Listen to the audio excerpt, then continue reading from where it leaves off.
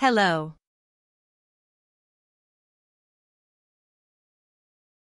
How are you? I'm fine, thank you. What is your name? My name is Mikal. It's nice to meet you. Where are you from? I'm from Chile. Where do you live?